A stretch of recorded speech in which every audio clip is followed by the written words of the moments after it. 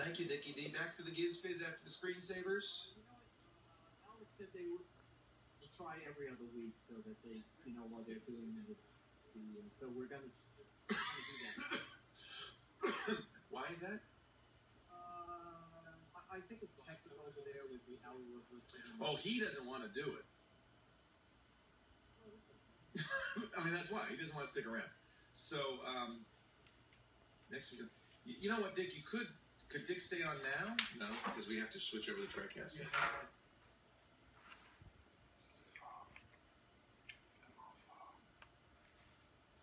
So, uh, but yes, this week we don't have anybody with engineering. Okay, Okay.